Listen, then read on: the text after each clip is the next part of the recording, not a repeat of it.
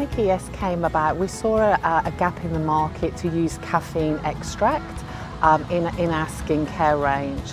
Uh, we developed a range of skincare that is full of all Australian, all natural products. The um, patented extract, uh, extracting process that we used, the caffeine, and it's full of, of goodness for your skin, antioxidants, uh, and no nasties. Botanics ES has really helped me plump up my skin, give it a fresh look, um, fresh feel of radiance. It really makes a difference. Botanic ES is unique because of its hydrating formula. Caffeine actually adds to the hydration power of the skincare range. I love coffee in the morning and it makes my day. The fact that this product has coffee in it and does the same thing for my skin is awesome.